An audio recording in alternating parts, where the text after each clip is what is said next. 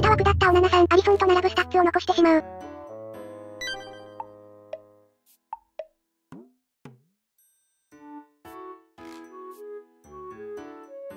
過大評価という言葉がゲネッピのためにあるとするのであれば、過小評価はオナニーのためにあるアリソンは試合出てないからこのデータだけやったら何も言えんけどオナナはよくやってると思うぞ。オナナのこと舐めんなよ。決してアリソンの方が下と言ってるわけではないです。アリソンは天才です。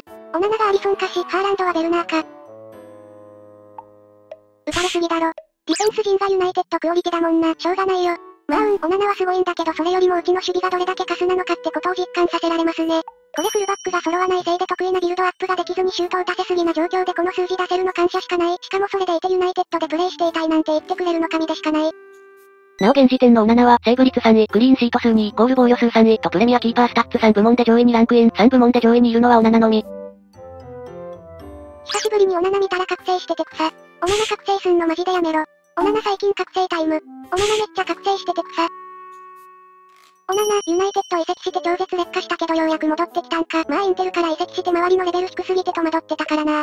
で部屋のセービングが100だとしたら、オナナは90ぐらいやと思ってる。他は全部オナナ。